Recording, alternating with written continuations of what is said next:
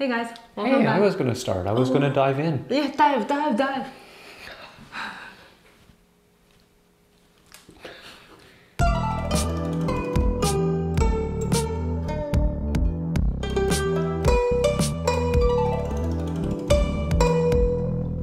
We're sitting down to taste another great tea for our website, something we do on a regular basis. But today we thought we'd invite you along for the ride. If you're new here, hello, I'm Zhen from ZhenTea. And I'm Phil.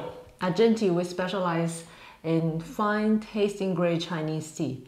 So if you're also a tea lover and would love to learn more about uh, tea and uh, tea culture, please subscribe to our channel and don't forget the notification bell so that uh, you will be notified as soon as we have a new video.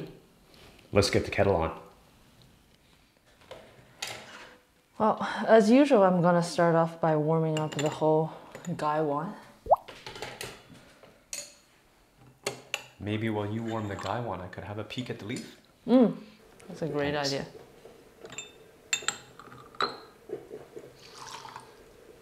So I chipped the tea off of the cake or off of the bing.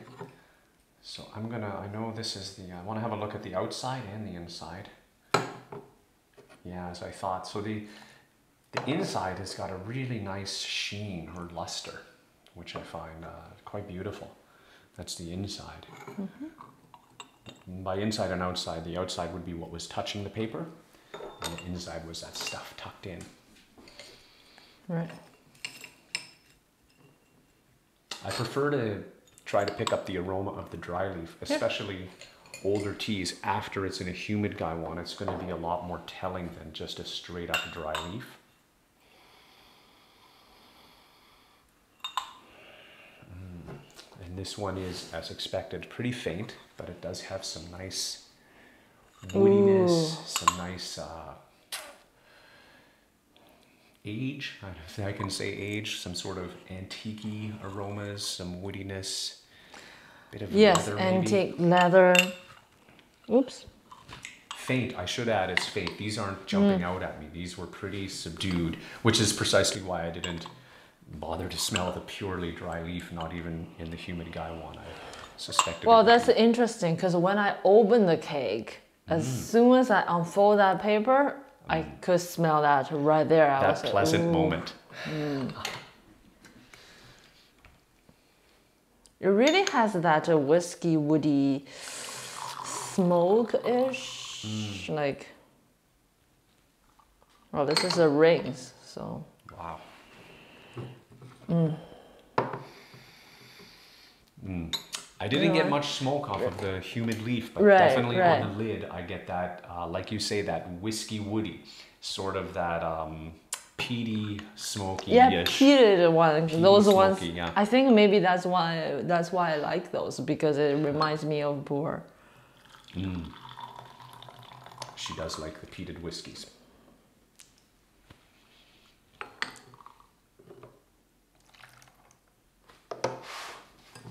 First infusion. Wow, you can see all the uh, tri trichrome, trichome. Mm, Wow. Yeah, you're right. Yeah, it's a very the liquor is very luscious, like uh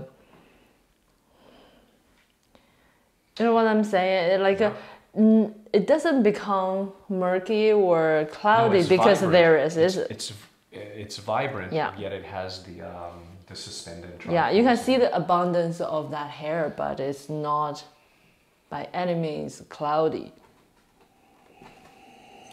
Oh, that's beautiful.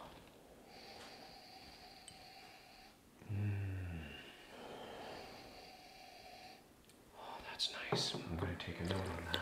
That has some nice, um, I don't know, I want to say Sheng sharpness. Yeah, it does. Really uh, bright, really bright aroma in the bottom cup. Mm.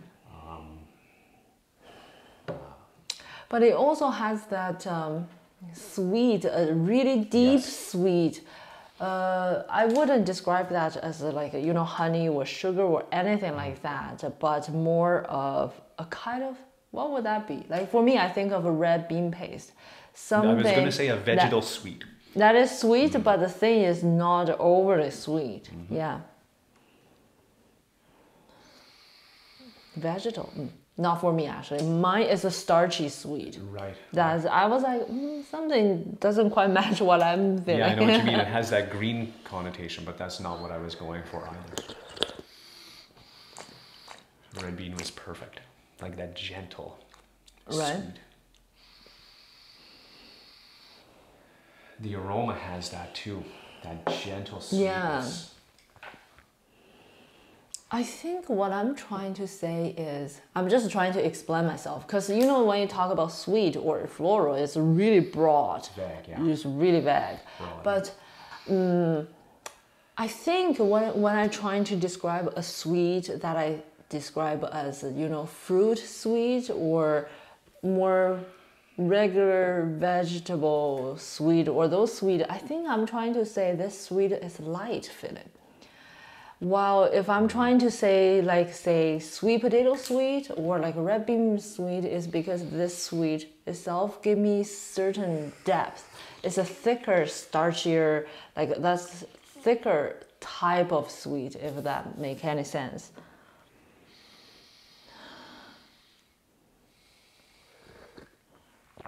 And it's deep in the background.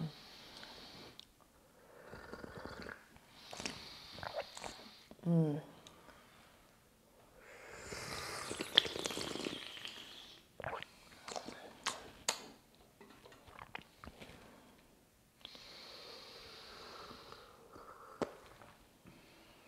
and the room goes quiet.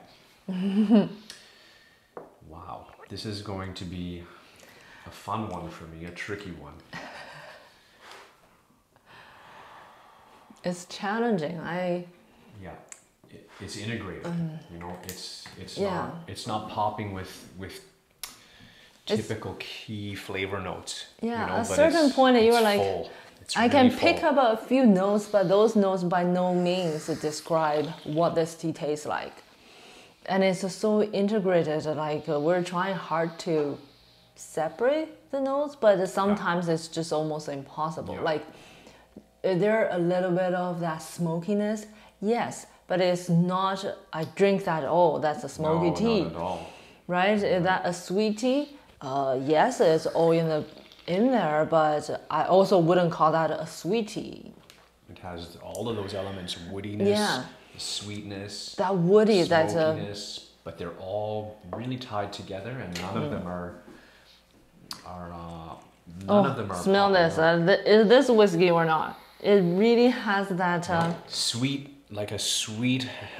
not alcohol, but when you finish Mm-hmm. the whiskey, the, the, the empty cup also have that kind of a.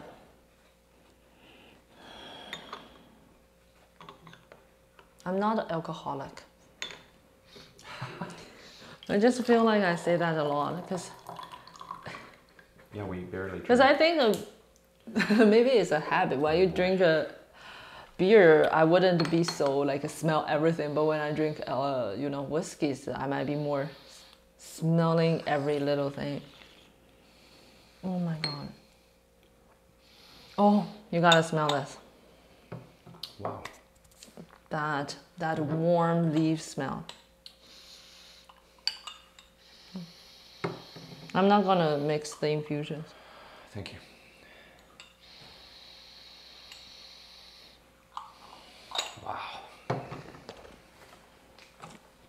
Isn't that stunning? The second, so I am on the second infusion. Really open up. Yeah, I'm eager to get to that because this one is. I've been quite quiet over all of my sips. So what I'm focusing on here when I'm sipping is I want to make sure I'm breathing over the tea, which I have been, and that really brings the aroma together with the the liquor flavor. It ties everything together. This is a gorgeous sip.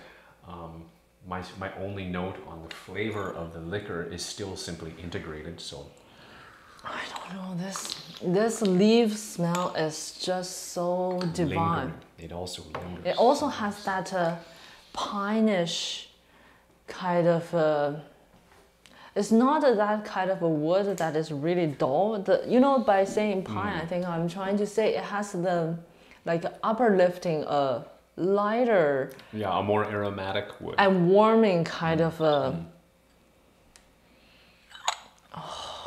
I just, I wish there's perfumes like that. I would uh, imagine wearing that to sleep. It's, oh.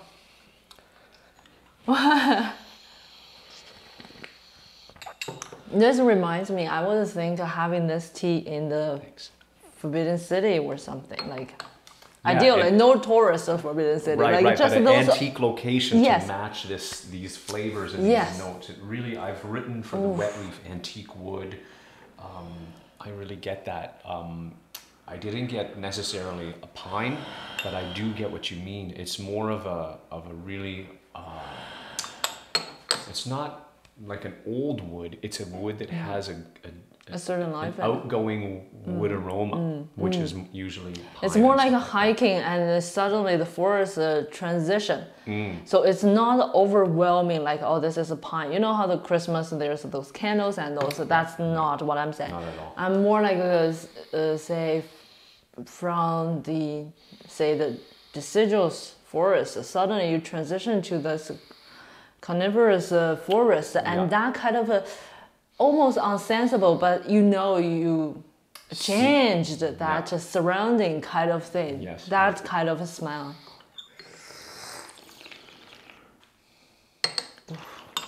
It's more of a cedarish uh, aroma, probably to me. Ah, cedar. Uh, could be. I, I'm not very good with all those needle trees. right, right. Mm, much. Just a needle tree is what I was thinking if I'm. cedar. Okay. Yeah, yeah.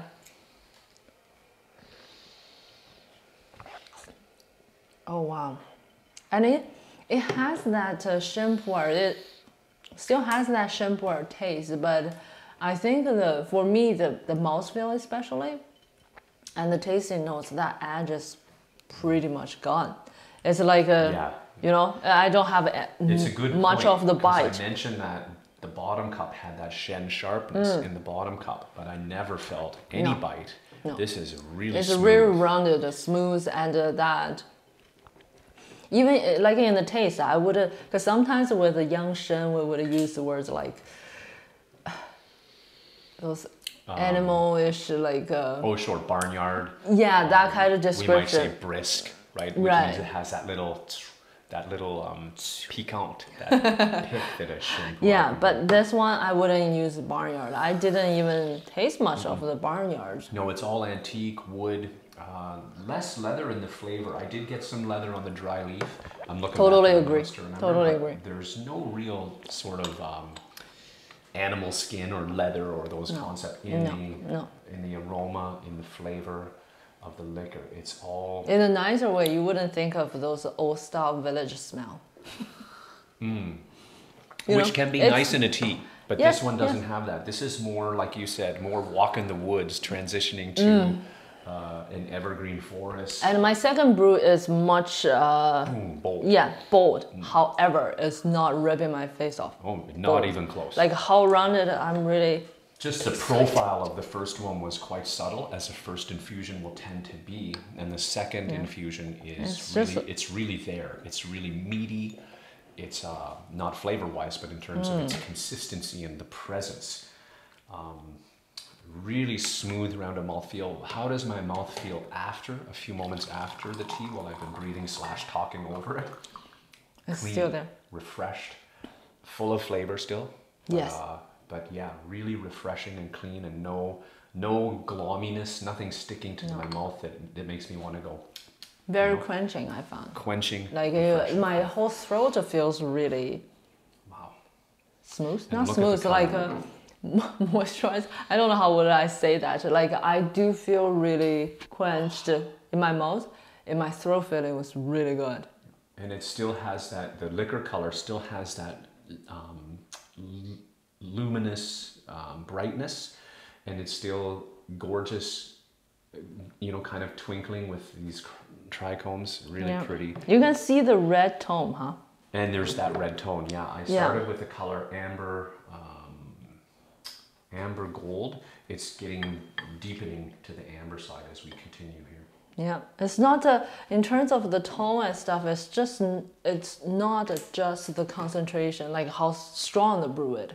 The, when it has the tone in the liquor, even when it's lighter infusions, uh, it will still have a little bit of that.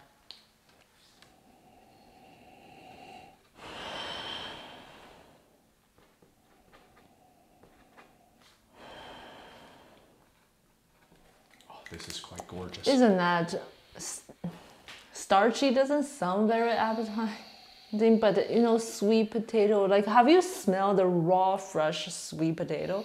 Mm. That's what I think of. Do you eat raw potato, raw sweet potato? No. Oh, okay. what? Because I sometimes take a little bit of bite of this or that raw, which is a little bit weird for her. So she And never knows the what, surprise- what's in and what's out. You eat a raw potato, right? Which A little bite, okay? I Okay, don't eat okay, whole okay, raw okay. potatoes. it's a little bit weird People for will be me. worried for my health, mental and physical. But I do. We we have the history of eating raw sweet potato. Oh, Oh, not too much, not too much, but eat a little bit because it's sweet and juicy. But when you cut it open, you know how the they have a, a little bit. It's not fruit, so it only have a little bit of the juice. But that refreshing, starchy, sweet.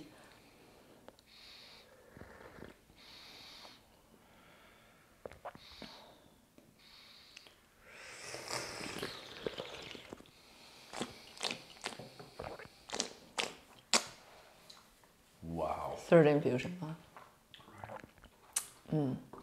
So when we do uh, tastings at home, especially for uh, the website, it's basic because I'm the brewer. I know what I am brewing, but him is always in the dark, Right. trying Right. to eliminate a little bit of a bias. Eliminate unintentional bias or intentional bias, and just uh, yeah. So I'm never, I'm never given the full presentation till after the fact. Well, that's actually a really uh, a struggling start, but now I found uh, is actually help accelerate the tasting ability because now when you taste your reaction, I can tell how much you're getting from the tea. Third infusion, okay, thickness level through the roof. Okay, Mm. it's now it's really delightful. Uh, it, not that it wasn't delightful. We started with a smooth, rounded first infusion, Yeah, but the texture's popping now. yeah. Um, A mini nasty tip you can try at home is try to like if you having uh, this is a bonus for people who watch this far. Okay, these are pro tips we don't give away at the beginning of the video. Sometimes people struggle with texture. What is texture? It's not a tasting note. It's literally the texture. I often use a broth. Like you know, a broth you you put on heat for five minutes. It's not like those gelatin like two hours, three hours thick broth. So That's the texture. We're talking about tea. And I found something, uh, might not be very elegant, but it does help filling that texture is uh, like how you use the mouthwash to swoosh in your mouth. That would help. At, at the same time, close your teeth because how the liquid press through your teeth, that sensation tells mm-hmm. you how dense the liquid is, mm-hmm. right? So I found that's a little thing right. that was very helpful for sensation. And if you're not familiar with that, that might sound super weird, but you will notice, and I say this because I did it, I started with no understanding of the texture. It was really foreign to me when we start to talk about both broth and tea and how the texture of the broth can give you a hint of a soup broth can give you a hint about the quality of the soup real bone fake you know powder whatever S- similar with tea the texture of the liquor you might not be sensitive to that, but use some of these tips and it, will come. And pay attention, of course. Well, since the water is uh, boiling, we're just gonna share with you some of the cool lid and cool leaf notes, which was shocking to us of how Right? This is really um, like an evergreen wood sweet or a, Yeah. like a cedar wood sweet. I don't Yeah. know. One of the. oh, just, it's interesting. Like, you want to take your time with a tea like this and, you know, smell the lid when it's warm. Smell it's not hard for you now to have a few smell, a few sip to know the rough. the rough. Yeah, Yeah, the where right? does this tea belong? Yeah, the yeah. Great and- group, the mediocre group, or the, Right, right. Right. And, and and take your time yeah, yeah, and um, you know, quote unquote, take your time and smell the Yeah. roses. Yeah. The lid when it's warm, the lid when it's cool. How is it different? The Yeah. bottom cup, either your bottom cup or the bottom of Mm-hmm. your sharing pot, when it's just emptied and pretty warm, give it a moment, let it cool, smell it. Right, how lingering all those notes could be and changing, but still, it's um, you know when you are splurge to a finer tea, you really have to. Uh, you don't have to, but I prefer to enjoy every aspects of how splendid a good tea is. Yeah. Like that's what I pay for, right? yeah, yeah, and and it's uh, just the experience is, you know, it just lends to the whole experience Yeah. quite a bit. Yeah. Mm, how's the leaf? Let's have a look at that. Look at the color. It's a beautiful red brown, deep Mm. red brown. The luster that we saw on the dry leaf when we started, it persists. Okay, you've got this silky, um, somewhere tucked in between matte and sheen. You've got that kind of a luster. This Mm. Yeah. is another real telling material indicator. And by material, I mean the quality of the Yeah, leaf. you- It's telling you about the quality of the leaf without even touching it. Later, I'm going to touch it, I'm going to Yeah. rub it. And I was going to remind you guys don't be shy just to play with your tea, literally. Mm. Mm. It's just so satisfying when you look at leaves like this. You mm. know, once you see a lot of brew leaves and stuff, you gradually just develop that sense of what what do we mean by luster? What do we mean by shame or Silky. or silky or the tone? What is red? What's the range of the red or bronze we're talking? Right, right. Talking what? Yeah, it's not bright red. It's not a Yeah, yeah, red, yeah, yeah, right? yeah. But, but I think folks know Yeah. like it's that that plant-like redness, that Mm. oxidized redness we're seeing here. And yeah.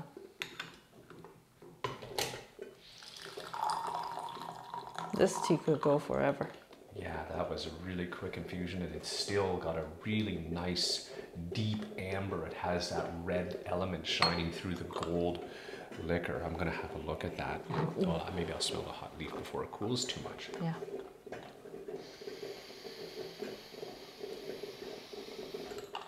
Wow, that's wonderful. Right, I'm just mesmerized. Look at that.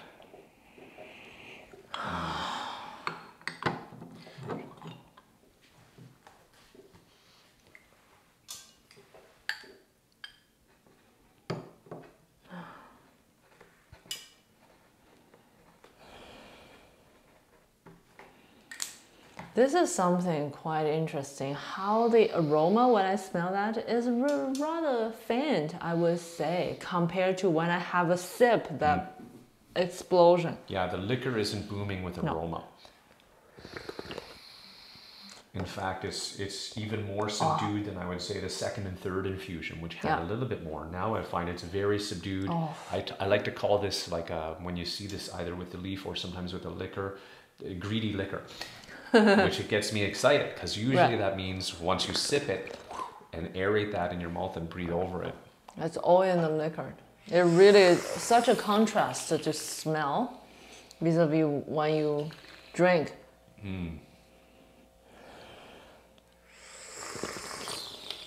Oh, and also when we um, brew for tasting notes for our website, we don't use we don't use any high-end water. We use um, tap filtered tap water.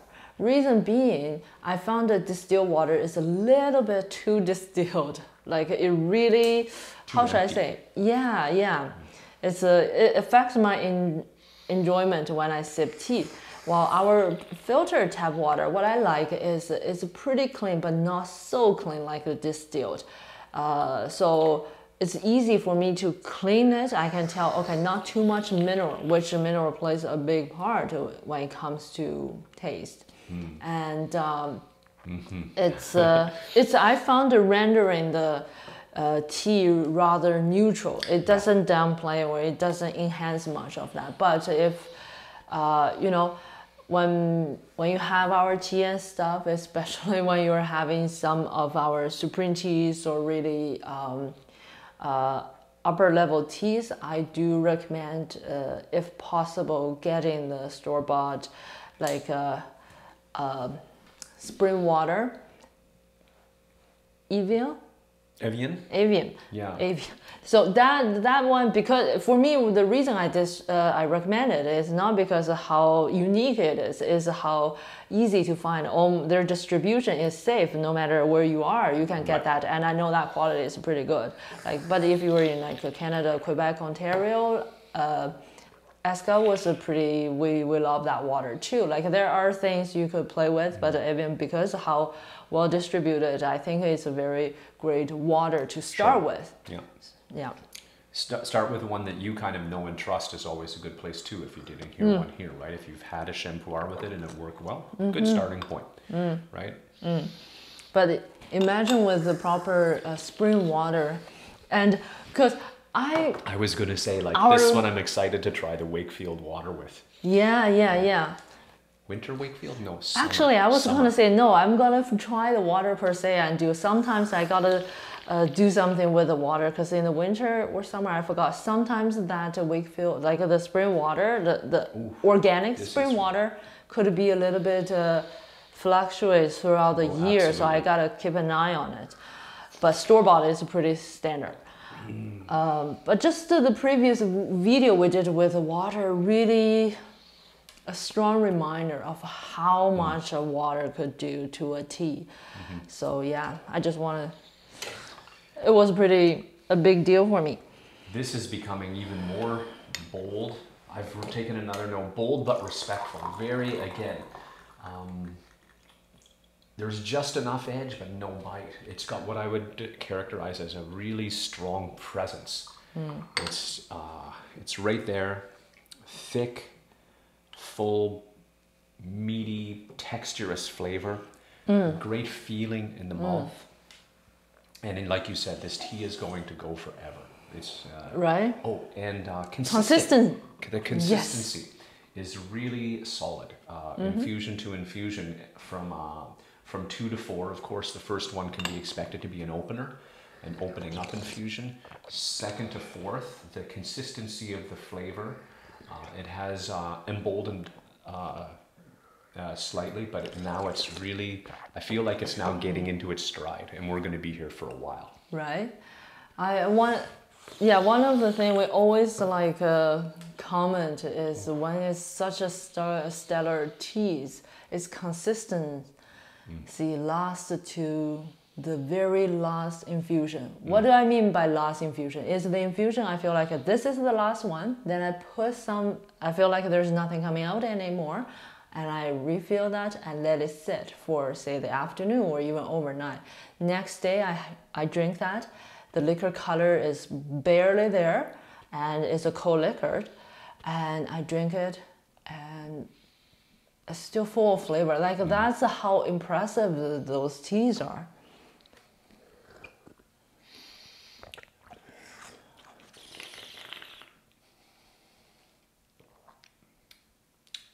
Hmm. Hmm.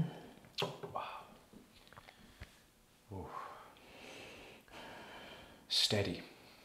Right. Really, really impressed with the uh, the lingering flavor.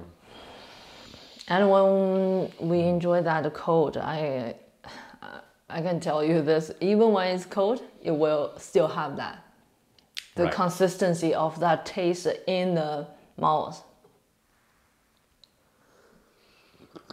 You're anticipating tomorrow's sip. until we finish, and I'm anticipating a lot more in brews. Mm. Yeah, well, we're for sure not gonna be bothered with a two, three, four hour video just to taste this tea. We'll keep going for many, many infusions, but um, I hope this this short video might not be short by the time it's done. But anyway, I hope this video will give you some idea of uh, how we do tastings and maybe some tips on, you know, what you can try when you try to Yeah. get some tasting notes off a tea. Absolutely. So if you like the video, please be sure to uh, subscribe down below. Click the notification bell so you'll know whenever we go live or post new videos. And until next time, keep steeping. Keep steeping.